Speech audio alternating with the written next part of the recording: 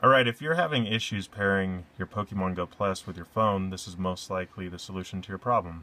Um, what you want to do is close out the app first of all and make sure that in the Pokemon Go Plus, uh, the available devices that you eject it and it's not there anymore.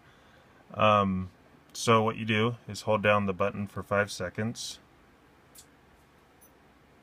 It'll flash blue. And then hold it down for 5 seconds again and you should feel a vibrate. That means it factory reset. Now go into your uh, Pokemon Go Plus window on the app and